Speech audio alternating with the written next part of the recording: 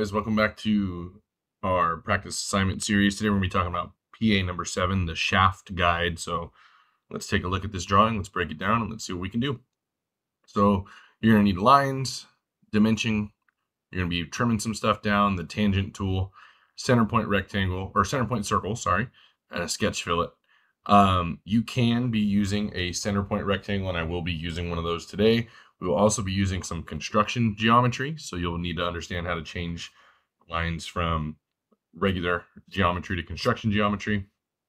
Um, you could use this using the mirror. There's a lot of different ways you could go about doing this. Um, I recommend the first time you draw it, you draw everything so you get good at it. Uh, and then the next time you draw it, draw only half of it. So if you take a look, you'll see that this is has a center line of symmetry going down the center. And if we draw one half, we could essentially mirror and fold it over to the other side. But some of these dimensions are kind of given to you in a way where you need some references from the other side. So some of them might work, some of them might not. Um, but I'm going to show you how to do that today. So the question we need to answer by the end of this is what is the total area of the shape? So it will be a closed polygon. Um, you'll see this area here. And when we're done, what is the total area of that shape? So without further ado, let's get back into Onshape. All right, so from here, like always, we're to start, we'll start on our top plane. We'll press Shift and S to get that sketch started, N to normalize, and P to hide those planes. Um, what we're going to start with is I'm going to start with a rectangle that is going to be 5 wide by 6 or 0.630 so if we look down here, we're going to start and we're going to make this kind of a rectangle to start. Five inches wide by 0.63 tall. Um, and I know we'll, we'll, get to those rounded corners later. Um, and then we're going to add some other geometry. And then from there, we're going to draw this, this vertical four inch line uh, as a construction line. And we'll kind of go from there. So like I said, we'll start with a regular uh, center point rectangle and we can use this. Um, actually, we'll go up a little bit above it. I want to show you kind of a, a trick you can do. So we can use the origin as our bottom of this, this design by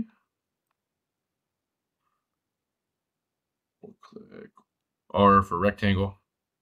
And I'm going to, instead of starting directly on the origin as my center point, I just want my center point aligned with this origin mm-hmm. and then come out. And before I click, I'm going to make sure my bottom line is oriented with that. So we said we need this to be 5 wide by 0.63 tall. And you'll see we end up with something like this, right? Now what we're going to do is we're going to press L for line. And before we actually draw that line, we're going to press Q and we're going to turn that into a construction line. So you'll see now that I'm drawing that line from that origin, it's a dotted dashed line. If I press Q again, it'll turn it back into a regular line. So Q, we're going to click and make that four inches tall. I'm going to shut off my construction geometry by pressing the letter Q again. And then we're going to pick up with a circle, center point circle. So I'm going to draw a circle. And that circle if we look at our drawing, is a radius of 1. So R 1.00. Now, instantly everybody's going to want to go 1, enter. The problem with that is, is if we look at this symbol right here, that means diameter. And I gave you a radius. And remember, a radius is half of the diameter. So what we need to do is you can do the math in here. Let's say it was a harder number to do. I could say 1 times 2, and it'll automatically make that 2. And the way you know that that's a math problem is you'll see that little function symbol. Um, but I mean, one times two is easy enough to do in your head. Most of you guys are probably just going to go two to make sure that that's what was given to you. Now, the way these drawings work, remember, I want you to kind of figure out what's going on and see that not everybody always gives you the best dimensions when you're making these things.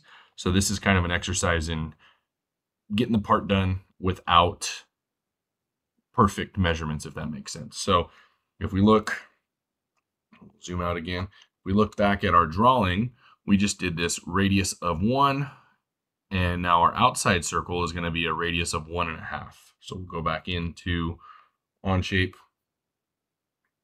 and we'll do another circle with a radius of 1.5. So 1.5 times 2 gives us a total of 3. So you have a 2 inch circle and a 3 inch circle.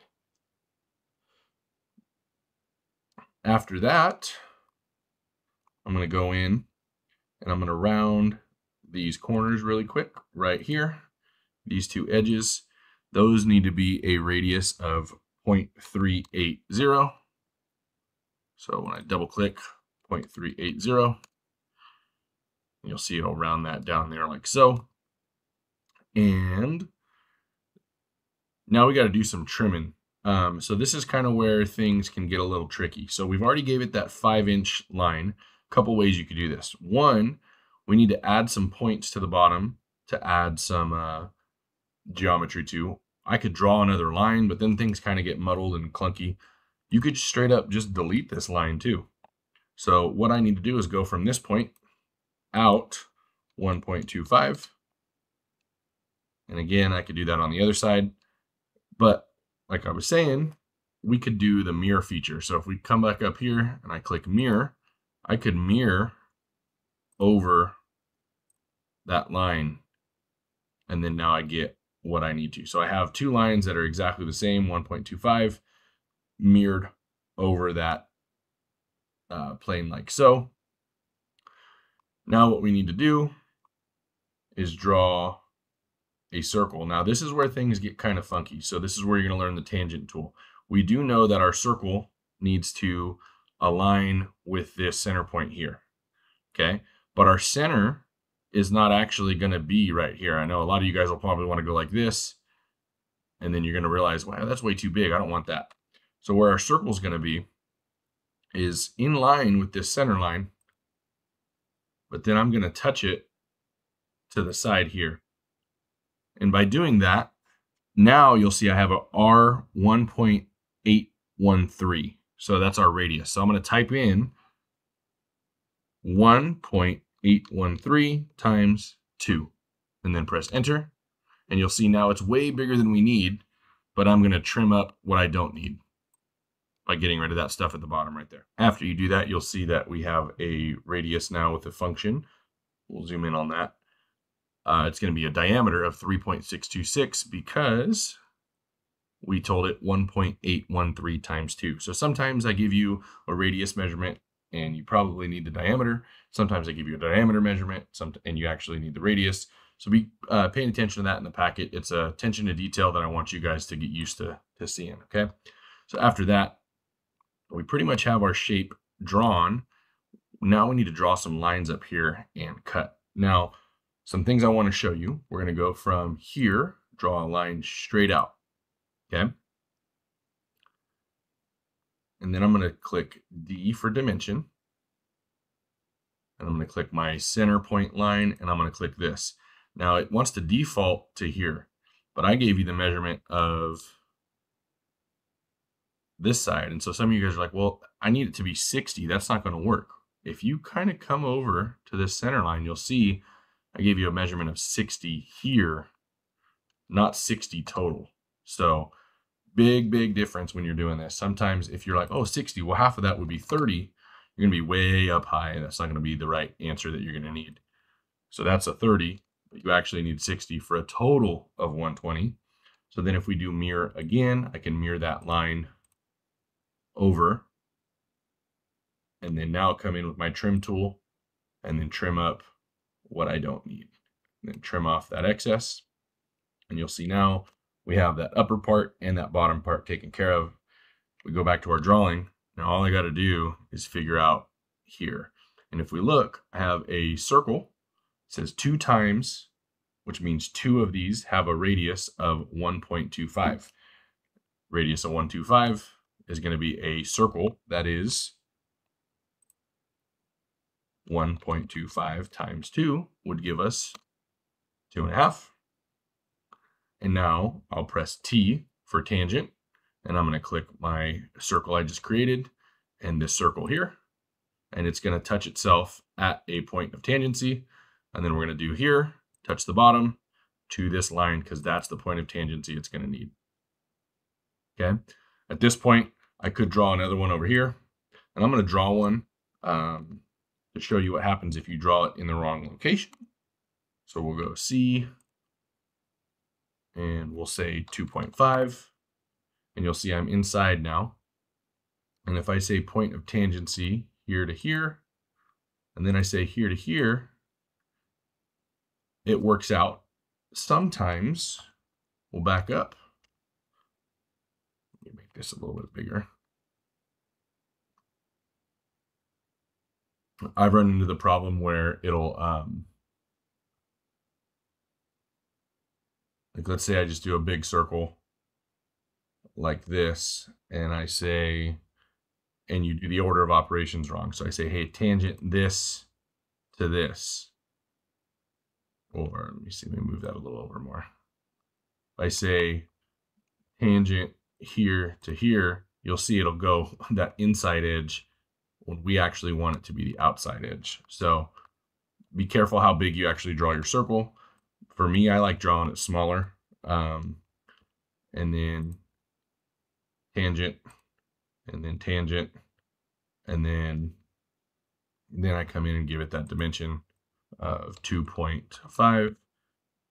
And you'll see sometimes it'll throw itself over and it'll put itself there. So you'd have to flip it actually to the other side. So very, very crucial that when you're doing some of these things, you pay attention to those order of operations. So 2.5, tangent those two, tangent those two. Now, we're going to come in with the trim tool M. I'm going to delete this outside, this outside, this little inner ring here, and this piece here. Um, like always, you would come down here. Our question is, what is the area of the shape?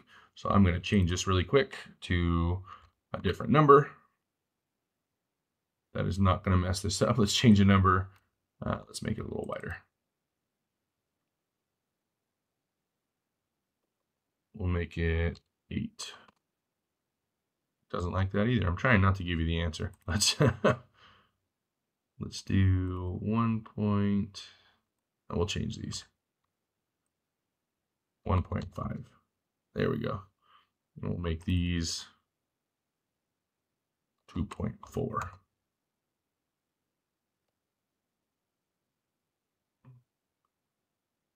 All right. So I would click here to get my area. And then if we come down here at the bottom, you'll see you're going to end up with a number that is not correct because the measurement's wrong.